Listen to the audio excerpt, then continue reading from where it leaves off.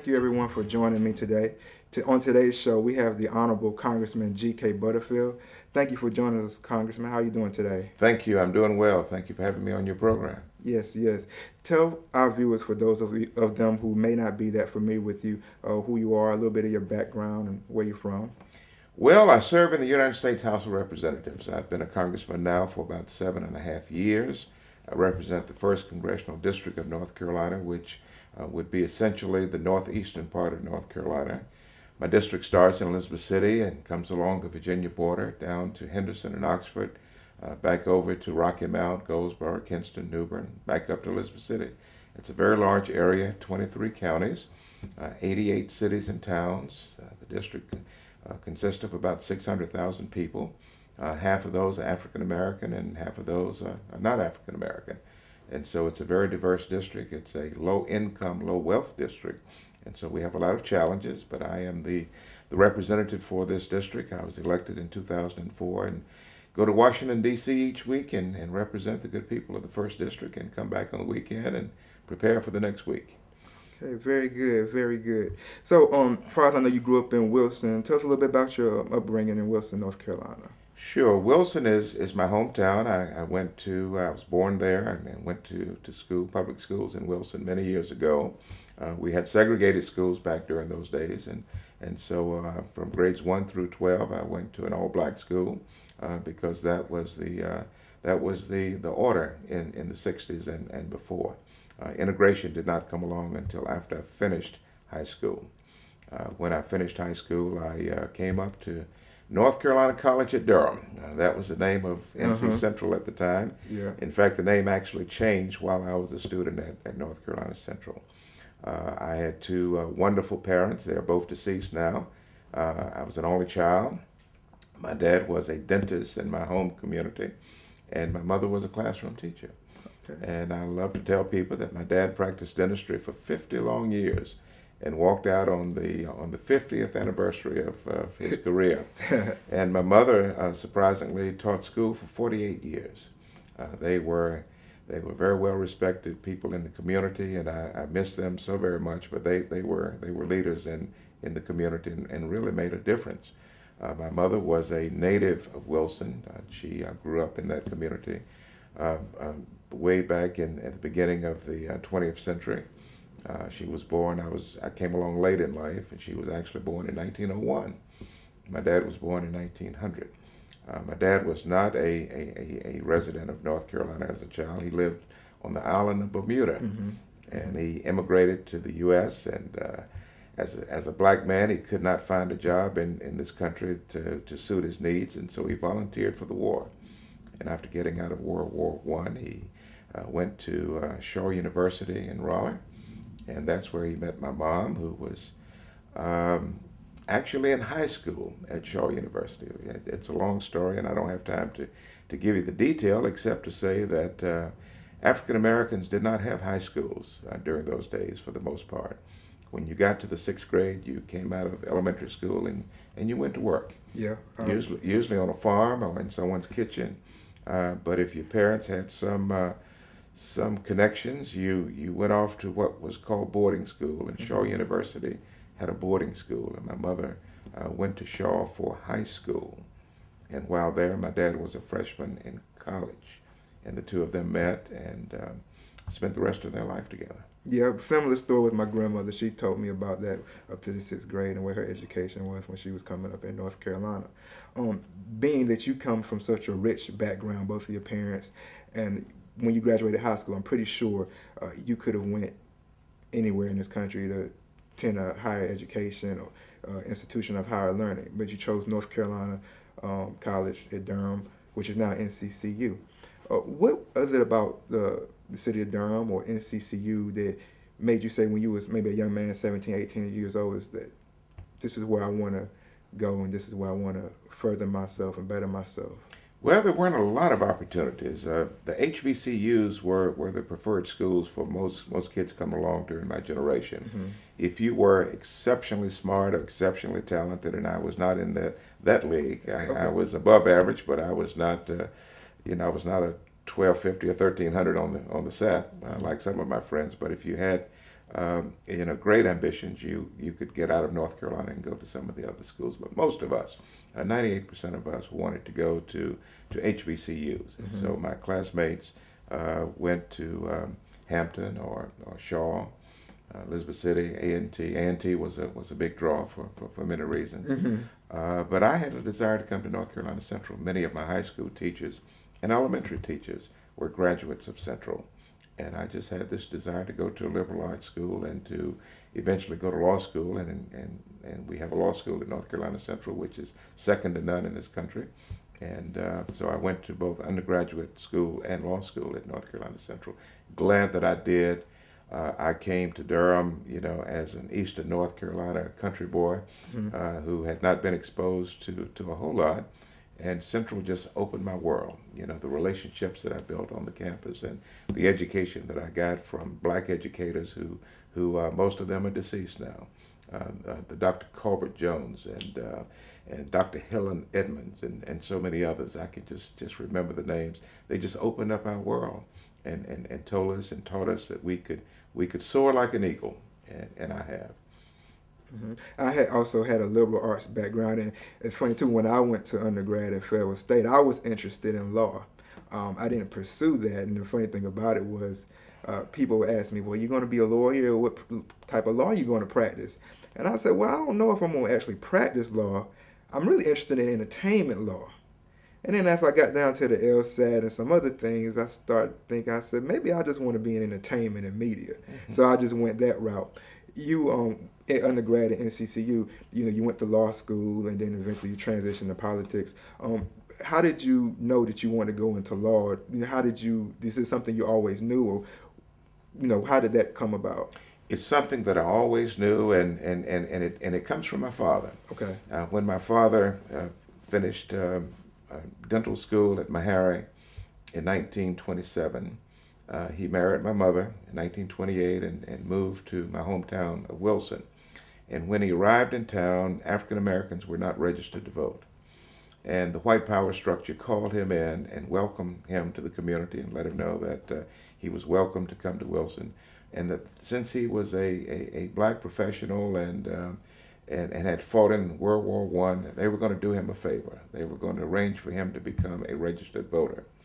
Uh, as, as strange as that sounds, uh, that, that, that's what happened. Mm-hmm. And so they, they hooked him up and, and let him become a registered voter. And he told me that he was the 40th African American in my home uh, to become a registered voter. Out of thousands of black people uh, who lived in the community, only 40 were registered to vote.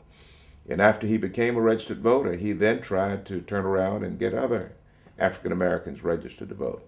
And that's when the white power structure called him in and, and had a prayer meeting with him and, and explained to him that that allowing him to register to vote was simply an accommodation or a favor, if you will, uh, that it was not intended to be a massive effort to get all black people registered to vote. And, and he resented that. Uh, he resented it to the highest. Mm-hmm. Uh, and so uh, we, we went through a depression uh, after that in the 1930s, and, and, of course, nothing happened politically. But in the 1940s, he started the local NAACP branch, and he founded that branch for the express purpose of getting African Americans registered to vote. And so for several years, that was their thrust. They, we had a literacy test back then. You had to be able to read and write uh, in order to register to vote. Uh, but not only read and write, you had to be able to satisfy the registrar that you were literate. A lot of people miss that point. Uh, you, you had to read and write to the satisfaction of the registrar. And that becomes very subjective when a registrar has got to sign off uh, or evaluate your, your literacy. And, and, and white registrars at the time were not willing uh, to let African Americans uh, become voters. And so my father and the NAACP and others uh, created this massive effort to, uh, to get black people registered. They would teach the literacy test. And every Saturday morning in my home, they would get people in and, and explain to them how you can go about getting registered to vote. And just maybe you could impress the registrar and, and, and get registered. Well, they did that for several years, and finally in 1953, uh, my dad looked at the voter registration statistics for the ward that we lived in and realized that black voter registration had pretty much equal white voter registration. And so he decided to run for the city council. And he did in 1953, and it was a tie vote. And in order to break the tie, they took both names and put them in a hat. And a little white girl reached into the hat and pulled out the name, and it was my father's name. Okay. And so in 1953, he became a registered voter, which was, which was a Barack Obama moment, Mhm. you know, at the time. Okay. Uh, Yeah. He served on the city council and, and was reelected in 1955, and was it, this was really a shock to the local power, uh, local establishment. And so in 1957, uh, there was a change of procedure.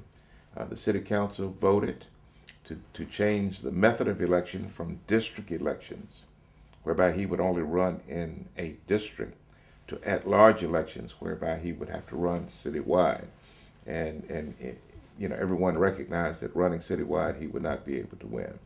So they changed the election procedure while he was out of town. Now we were out of town on a family vacation when the city council called a, an emergency meeting and changed the rules uh, to, to to transform the system to at-large voting. And so in 1957 he lost re-election. And in 1959 my pastor ran for that same seat and he lost the election. And, and because of that experience, the black community got together, retained the NAACP, and a lawsuit was filed challenging the at large method of election. Uh, that case went all the way to the U.S. Supreme Court. And so, any of our listeners who, who are curious about this, uh, they can look up uh, Watkins versus City of Wilson. It was a 1959 1960 case from the U.S. Supreme Court. They didn't win. They didn't win, um, but they challenged the system. And so I say all of that to say that I was a, I was a 10 or 11 or 12 year old adolescent, and I'm watching all of this unfold, and it made an impression on me. And so from that day forward, I wanted to be a lawyer. Okay. I wanted to be involved in politics. I wanted to be involved in community empowerment. And that has been my life story from, from that day to this day. Okay, okay, that sounds a very enriching story, and I'm glad you shared that because some of our younger viewers who may be becoming 17, 18, going off to college, they can at least understand the, the importance and significance of voting, especially among African Americans, um, for what you and uh, others had to go through to basically just get equal rights and civil rights. The literacy test was a weapon. Mm-hmm. It, it, it was a device that was used to keep African Americans from voting. And, and you must you must remember now our viewers must remember that we had the literacy test all the way to 1965, which was the year I came to, to North Carolina Central University. The literacy test was finally eliminated when the Voting Rights Act was passed on August 6th of 1965. Uh, as, as part of the Voting Rights Act, there was a provision that made a literacy test unlawful as a prerequisite to registering to vote. And once the literacy test was removed, then good things began to happen. But they didn't happen overnight. I heard President Obama speaking uh, uh, a few days ago, and, and he made the same point. Uh, You, you don't make progress, you know, overnight. It, Mhm, you, you don't leapfrog in, into success. You know, it, it took a while. And so when the literacy test was taken off of, off of the books, uh, that's when I came to Durham. Uh, African Americans in Durham were, were a little bit more progressive than they were in rural communities in eastern North Carolina. So there was significant political activity in Durham. And after the literacy test was removed, it, it, it, it really improved. But a lot of African Americans did not really believe that the literacy test had been, had been eliminated. And so it was still a, a very difficult undertaking uh, to get African Americans to register to vote. Uh, they just didn't believe it, and those who did believe it were still fearful uh, to become registered voters. And so we worked hard. And finally, in 1968, we came up with a very novel idea uh, in order to stimulate uh, voter engagement. And that was an African American ran for governor of North Carolina in May of 1968. His name was Dr. Reginald Hawkins. And Eva Clayton ran for Congress uh, in what was then the second congressional district.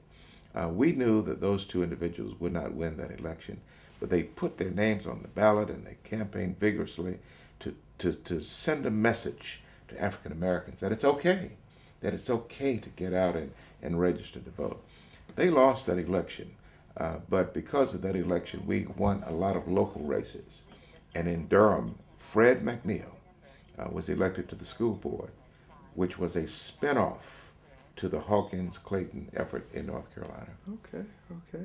Well, and, and um, so now basically now you were in the first you're in the served in the first district. Um, we had recently had some changes. Uh, you're going to come into the fourth district, which is uh, Durham County, is part of that as well. Let me see if let me see if I can I can I can explain that and and, and, and elaborate on, on what you're saying. Every ten years, mm-hmm. after the census is taken, the the, the Constitution requires uh, that congressional districts be reconfigured. And the reason for that is that every congressman must represent the same number of people. It would be unfair for one congressman to represent a million people and another one to represent 500,000 people. Mm-hmm. That means that the 500,000 district would, would theoretically have more power than one representing a million. So every 10 years, congressional districts have got to be redrawn, legislative districts, local districts, uh, that's required. And so when it's time to, to redraw the districts, you, you, you get the percentage that a state is to the national population. Uh, you find out what percentage North Carolina is as compared to the national population. And, and based on that, you get a percentage of the representatives. As we all know, there are only 435 members of the House. That doesn't increase or decrease, that stays the same. But once you do the math, you calculate what percentage your state is to, to all of the states, and that's the number of seats that you get in the House of Representatives. Okay. Uh, North Carolina, uh, 10 years ago, had 12 representatives. Uh, because of the 2000 census, it went up to 13 uh, because we had grown significantly. And so we were, we, we, we were awarded an extra seat, which meant that another state, state lost a seat. And so now we're 10 years later, and it's time to do it again. Mm-hmm. Uh, we didn't quite grow enough in North Carolina to get an additional seat. And so we're going to stay at 13. But the state has grown by one and a half million people. Uh, and a lot of that growth has been right here in the Research Triangle area, and a lot of it down in Charlotte. And so the districts have been redrawn. And because of the redistricting, I am now going to represent Durham, North Carolina. Uh, that is that is a high honor for me uh, because this is where I really cut my teeth on, uh, and, and got an education and cut my teeth in political engagement. It's like a second homecoming, at least in terms of your career. it, it is a second homecoming. The only sad part about it is that uh, if if this plan holds, and it's going to be tested in court, and it's being tested in court, but if this plan holds, then I'm going to displace a very dear friend, Congressman David Price, uh, who is now being moved to another district. Uh, I will not be the fourth district. I will continue to be the first district. Uh, but David Price's district, if this thing holds, uh, will start way up in Alamance County and meander its way all the way down to Fayetteville.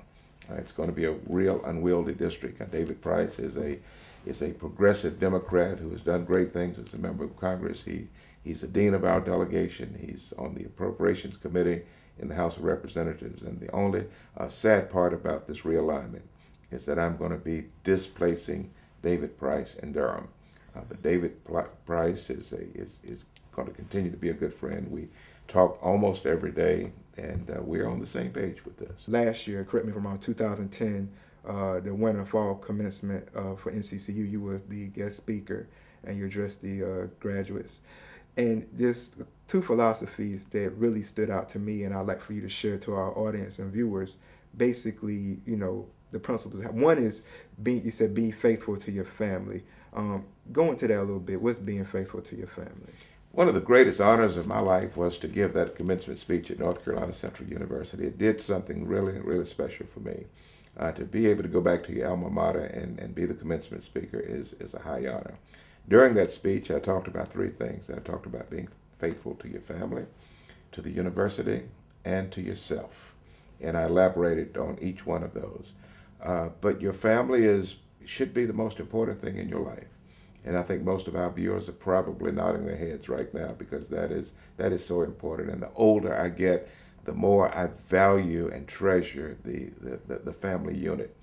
Uh, because when it's all said and done, uh, when you when you start reaching those senior years and those twilight years, uh, the people who are going to be there for you will be your family. And so we, we must keep that in perspective. Uh, you must remember that, that your ancestors didn't have the privileges and the opportunities that we have today. And so each generation should get better. and and we must we must understand the, the importance of family. Uh, but in addition to that, uh, we must understand the importance of historically black colleges. Uh, the, the contribution of North Carolina Central University, not just to Durham, but the contribution to black education in this state and country is unparalleled. Uh, Dr. Shepard started uh, our university in 1910, and he worked all the way to 1947, I think it was, you know, training a generation of, of young black educators who walked across that stage at, at North Carolina College and went into the hitherlands and back into rural North Carolina and trained my generation uh, and, and, and provided us an education. And so we must understand the, the, the, the, role that historically black colleges, including North Carolina Central, have played to the empowerment of our community. But at the end of the day, what matters, I suppose, the most is you've got to have principles, you've got to have values, and you've got to be true to yourself. Mm-hmm. And that's one yeah. thing that spoke to me. You say also be faithful to yourself. And absolutely, you've got to be you got to be the same whether you're in private or in public. Uh, your values have got to be constant. And, and I said that during the speech. I, I say it so very often. And, and I just want our younger generation uh, to, to recognize those, those three things. Uh, I'm so proud of our younger generation. I'm proud of you and the staff of people who work uh, with you uh, in producing this program because it gives me be, me hope and, and faith that, that we're okay in our community and we're going to continue to empower our community. We're going to continue to stay involved. We've got a big election coming up in 2012. And, and yes, I will be on the ballot in Durham, but it's not only about me, but it's about empowering our community. The same goal that we had in 1965 is the same goal that we have in 2012. And that is the African American community needs to have a fair opportunity to achieve the American dream. Uh, we need to close the disparities between black, white, and brown in this country. We need to bring all of the statistics together. Uh, poverty, one out of six uh, people in this country living in poverty, completely unacceptable. And so we must do a better job. And so we must be engaged in the next election. Uh, the people of Durham County are going to hear a lot from me over the next uh, few months and I'm going to bring my message to Durham, but it's going to include uh, a young generation, uh, your generation, you're going to be fully involved in, in not only in my campaign, but in my work as a member of Congress. I'm going to open a congressional office in Durham, and we're going to have Durham staff, and we're going to continue the work uh, that David Price started many years ago. Okay, okay. And before we wrap up and go, um, just two other things. Uh, what would you say to the young person viewing this uh, program who knows that they want to be in law or in politics, um, you know, when they get older or when they after they leave college, you know, what can they do now? And um, if anybody wants to um, be a part of your campaign sure. or contribute, what can they do? We are a government of laws and values. And, and, and the two people, the two, the two offices that keep our government strong would be those who make public policy, which would be the politicians, and the lawyer, the one who keeps government honest and, and, and, and, and, and, and represents uh, people who have been, been locked out of a process. And those two uh, jobs are very honorable positions. I would encourage our, our young people to look at law and politics, you know, as an avenue of, of success. Uh, it was for me and it can, can be for, for other people. Uh, my website is gkbutterfield.com. Uh, it's it's a very native web, website now, but it's going to evolve into a, better website as we go along. Uh, but it's gkbutterfield.com. It's it's a it's an opportunity to reach out to me and to uh, and to um, be a part of my campaign. I want I want a significant involvement of young people in Durham in my campaign because I want to to try to grow a new generation of leaders. I'm 64 years old. I recognize that and don't run from it uh, one bit. Uh, but and, and when I when my generation moves off the scene, uh, we need another generation ready to step into our shoes. Uh, Dr. Lavonia Allison at the Durham Committee talks about it all the time. Uh, she has been a great warrior in Durham over the years as Mayor Bell and, and, you know Howard Clement and all of the other friends. I shouldn't have called names, but that's okay. But but, but I did. I can I can call the roll in Durham yeah. uh, because I have relationships. Uh, Senator Floyd McKissick is another example. Uh, you know, people, Cora Cole McFadden. Uh, the, yeah, the, this is my yeah. generation, and we have worked hard to to set the stage uh, for another generation to come in behind us. Yeah, I interviewed Bill Bell, uh, Mayor Bell, few months ago as well. So yeah, I had the privilege of speaking with him. Well, Con- Honorable Congressman Butterfield, I do appreciate you spending time with me today. It was very enriching for me. I learned a lot. I'm sure our viewers who didn't know um, as much about North Carolina history and politics have learned a lot as well. Um, anytime we can do another show with you, I would love to have you on. Anything I can do to help you in the future, um, you know, you I will be willing and ready to go. I look forward to coming back to your program and doing another segment. Uh, I am a historian, uh, not by training, but uh, by habit. I have a lot of history that I'd like to share with the people of Durham because Durham has been a, a very integral part of the empowerment of black people in, in North Carolina. It's, it's a story that needs to be told. All right. Well, thank you again, Congressman. Thank I you. appreciate your time. Thank you. And thank you all for viewing. I'll see you next time.